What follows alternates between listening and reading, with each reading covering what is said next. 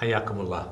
أه نتحدث الآن عن ما هي الأسباب أو ما هي الجوانب التي تجعل الكثير من الناس المهتمين بموضوع التخطيط يتشككون في نتائج التخطيط. يعني لما تسأل كثير من الناس تقول لك يا أنت ليش ما تعمل خطة مثلا؟ أو ليش هذا الموقف الاعتراضي من الخطط؟ أو لماذا أنت لا تساند تنفيذ هذه الخطط؟ فيقول لك والله يا أخي الخطط إيش سوت لي؟ والخطة هذه مضيعة للوقت. فلماذا هذا هذا الإحساس موجود؟ لماذا بالرغم أهمية التخطيط هذه التي ذكرناها، لماذا عند البعض نقطة أو وقفة تحفظ على نتائج التخطيط؟ الحقيقة هناك أسباب كثيرة جدا وحصرها الكثير من المختصون يعني في كتبهم وفي يعني أطروحاتهم العلمية. أنا حاولت إني أنا يعني أتعرف على هذه الأسباب من خلال بعض الاستبانات وبعض الدراسات واستعنت أيضا ببعض الإحصائيات الموجودة. فمنها أول حاجة عندما يكون التخطيط هذا مجرد شعارات. يفشل التخطيط عندما يكون مجرد شعارات وأغلفة جميلة وصور وأرقام وأشكال. يعني بحيث أنها يعني تصبح كما نقول مجرد أحلام ملونة وأوراق يعني متطايرة. فكثير من الناس يقول الله إحنا عندنا الخطه الاستراتيجية ويأخذ هذا الموضوع مش إنه يعني الخطة هذه سوف تعمل على نقله من واقعه إلى المستقبل وإلى الأهداف. لا وإنما هي نوع من أنواع المفاخرة ونوع من البرستيج إن إحنا عندنا خطة وخطة استراتيجية وخطة تشغيلية. فعندما تكون الخطة مبنية بهذا الشكل على يعني على على الدعايه وعلى الاعلان وعلى ما يسمى يعني إن إحنا سوف نعمل وتكون عندنا أغلفة وكتب وألوان ومنحنيات وجداول جميلة فأعتقد أن الخطه أو التخطيط يفشل لأنه ليس له أي يعني محتوى حقيقي وإنما هي أشكال. أيضا يفشل التخطيط عندما تقوم المنظمات بوضعه لمجرد الحصول على موارد تمويل من جهات معينة. يعني هناك بعض الوزارات مثلا لما تضع الخطة هي الخطة ليست لكي يعني لكي تنفذ ما الذي تريده وإنما لكي تحصل على المزيد من الدعم من جهات التمويل، فهذا أيضا عندما تكون الخطط التشغيليه أو الاستراتيجية معدة من أجل الحصول على الجانب المالي أو الدعم المالي أو الحصول على يعني مكاسب معينة ولا يعكس طبيعة ولا يعكس حقيقة الحاجة إلى التخطيط، فأعتقد أيضا أن التخطيط سوف يفشل ولن يؤتي نتائجه. أيضا عندما يكون التخطيط هذا يعني نسخ مكررة من خطط سابقة أو من خطط من جهات نظيرة تعمل في مجالنا. إني أنا والله أنسخ هذه الخطة من السنة السابقة وأضع الخطة هذه وأغير فقط يعني اسم أو أغير يعني بسنة الخطة. فعندما تكون هذه الخطط مجرد يعني نسخ ولصق للتخطيطات السابقة والمستنسخة وغيرها وتكون يعني فضفاضة وأهداف مائعة وأهداف غير محددة وهي لا تعكس الواقع فكثير من المنظمات خططها لما تقرأ هذه الخطة تجد التحديات الموجودة ونقاط الضعف والقوة التي يريدون أن يتغلبوا عليها في القرن الحادي والعشرين هي تسكن في القرن التاسع عشر. فيذكر لك يعني تحديات ما عادت موجودة يعني. في اسوء أنواع الشركات هذه هي نقاط القوة هذه نقاط الضعف ما عادت موجودة. بأسوأ أنواع الشركات فما بالك بشركة يعني معقولة؟ فهم يضعون أهدافا يعني تناقش يعني مشكلات يعني الأمس أو مشكلات الماضي الغابر. ولذلك نقول يعني إحنا هدفنا في التخطيط ليس ان نحل مشكلات الماضي. خلاص ماضي هذا عدى استفدنا منه وأخذنا منه التجارب ولا ينبغي يعني العيش فيه. ولكن نرجع إليه. نرجع إليه لكي لا نقع في نفس الأخطاء، لكن يعني ما نعيش في هذا الماضي ونخطط للماضي، لا نحن نخطط للمستقبل، فكثير من الخطط أيضا تفشل لأن الناس هؤلاء يعني يأتون بخطط مستنسخة وخطط مكررة، فقط يغيرون بعض يعني الجداول وبعض الأرقام وغير ذلك. كذلك عندما تكون هذه الخطة تحتوي على أهداف لا تعكس الحاجة ولا تعكس المشكلة الفعلية مع الأطراف ذات العلاقة. فأيضا تكون عند ذلك في عندنا مشكلة في موضوع الخطة وهنا الخطط لن تأتي بنتائجها ولن تحقق أهدافها. أيضا من الأمور التي رأيت أنها تسبب يعني مشكلة أنهم يعاملون التخطيط الاستراتيجي معاملة التخطيط التشغيلي وينفذون الخطط الاستراتيجية بأدوات وأساليب التخطيط التشغيلي. دنيا تخطيط دنيا التخطيط الاستراتيجي مختلفة تماما عن دنيا التخطيط التشغيلي. هذا له أدواته وله أدواته. ولكن لأن الناس يعني يرون أساليب التخطيط التشغيلي سهلة وبسيطة ولا يعرفون غيرها فيطبقونها على التخطيط الاستراتيجي. أيضا عندما تكون هناك مؤشرات من الأمور التي تؤدي إلى عدم نجاح الخطط أنه لا تكون هناك عندنا مؤشرات للقياس ومعايير للتقييم. يعني أنا كيف أعرف مثلا أن في مثلا الربع الأول إحنا حققنا نتيجة بنسبة كذا؟ في المجال المالي أو في المجال الجودة أو في مجال مثلا السمعة أو في مجال الربحية. في أي مجال من مجالات أهدافنا كيف أستطيع ما هي يعني المراحل التي قطعناها؟ وهل الذي قطعناه هو يتناسب مع طموحنا ومع ما كنا نريده ولا هو أقل من ذلك؟ وبالتالي إذا ما عندنا المعايير للقياس وما عندنا مؤشرات يعني يمكن الرجوع إليها فأعتقد أن الخطط أيضا يعني لا تنجح ولذلك أي خطة آه، لا نضع لها مؤشرات قياس أو معايير التقييم هي خطط غير قابلة للنجاح. وبالتالي إذا غابت المعايير وغابت المقاييس طبعا ما الذي يحل محل ذلك؟ يحل محل ذلك الارتجال والعشوائية واللاموضوعية والاجتهادات الشخصية والتجارب المنقطعة ويبدأون مقارنة يعني النتائج التي تحققت من خلال يعني النتائج السابقة ومن خلال نتائج جهات أو منظمات نظيرة. أنت يعني ما تقارن واقعك بواقع الآخرين. أنت كان عندك اهداف تتناسب مع واقعك أنت مع تحدياتك أنت. مع نقاط القوة ونقاط الضعف التي موجودة عندك أنت. وبالتالي يجب أن تكون عندك بنفسك معايير تتناسب مع طبيعة عملك مع مجال عملك ومقاييس أيضا يمكن من خلالها يعني الحكم على درجة النجاح ونسبة تحقق النجاح يعني التي وصلنا إليها.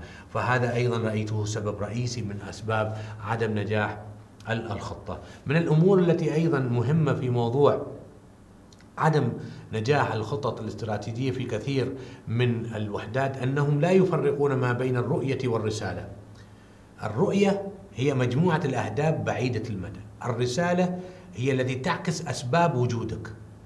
في فرق كبير جدا لما نقول رؤيتي ما الذي أريده ورسالتي لماذا أنا موجود. فتجد نفس الكلام الموجود في الرؤية هو الموجود في الرسالة.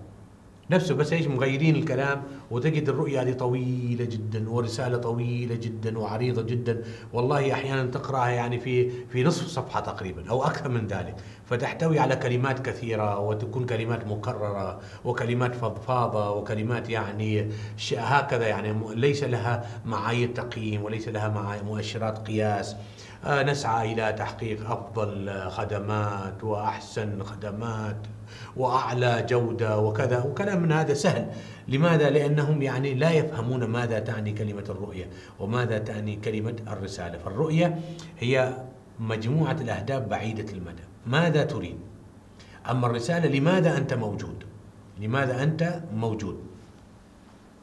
فهذا مهم أيضا في موضوع التخطيط لماذا يفشل؟ أيضا يفشل التخطيط عندما يعني آه، تتدخل القيادة في كل التفاصيل الدقيقة. أو الإدارة في كل التفاصيل الدقيقة وتمنع هذا وتحجر على هذا. ومع أن التخطيط كان في البداية مؤسس على نقاش وحوار وهناك فريق عمل سوف يقوم بوضع الخطة وهذا الفريق العمل له حرية يعني كبيرة جدا في رسم المسارات وتحديد يعني مجالات العمل وما الذي سوف نعمله وما هي الأهداف التي سوف نصيغها. لكن لما نأتي إلى التنفيذ تأتي الإدارة بتدخلات كثيرة جدا إلى درجة أنها تقتل هذه هذه الأهداف وتخلق هذه الأهداف. فعندنا للأسف الشديد كما نقول يعني آه، ديمقراطية الحوار وديكتاتورية القرار. فإحنا في الحوار ديمقراطيين ونسمع للآخرين وماذا يريدون ونتفق على ذلك. لكن لما نأتي إلى التنفيذ ما يمشي إلا كلام الذي هو يعني بيده الأمر أو بيده المال أو بيده يعني ملكية الشركة. فكثرة التدخلات الموجودة من قبل الإدارة سوف يعمل على عدم إنجاح هذه الخطة. من الأمور التي وجدتها أيضا تعمل على فشل التخطيط أن لدى هذه المنظمات إرادة التخطيط لكن ما عندهم إدارة التخطيط. لما نقول التخطيط يساوي الهدف زائد الخطة. فالهدف ماذا نريد؟ فالهدف هذا يعني إرادة التخطيط. فهم يريدون التخطيط عندهم نية للتخطيط عندهم رغبة للتخطيط. لكن للأسف الشديد ما عندهم الجزء الآخر وهو الخطة. والخطة ماذا تعني؟ الخطة الخطة تعني يعني كيف نحقق هذا الذي نريد؟ إذا إدارة التخطيط. فحتى يكون عندنا تخطيط ناجح يجب يكون أول حاجة عندنا نية وعندنا إدارة. يعني عندنا إرادة التخطيط ثم إدارة التخطيط.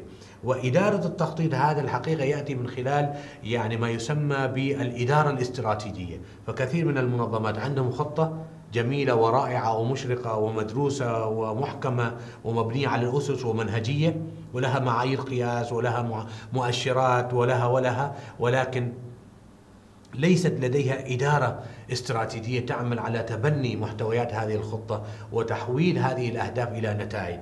ولذلك نقول الفرق بين النتائج والأهداف. الهدف هو نتيجة مخططة أما النتائج هي أهداف محققة. فلما نأتي في الخطة نحن نضع الأهداف بمعنى النتائج المخططة.